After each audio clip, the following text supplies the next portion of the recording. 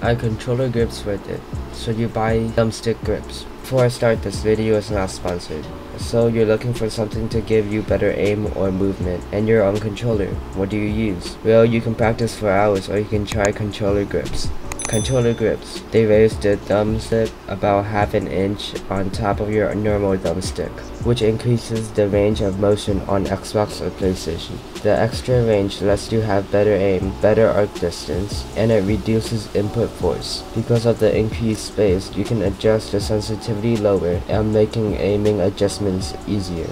If you're uncomfortable with the raise of the grips, you can pick from low rise, mid rise, or high rise on their website, controlfreaks.com. Another thing about these are that some reviewers find these more comfortable. Some other benefits of controller grips are that they reduce hand fatigue and protect your original thumbsticks. Customizing the way your controller looks is also a pretty good extra feature because they come in all sorts of colors and types. The colors do look ugly with a black or white controller, so I do recommend recommend you get a controller skin too.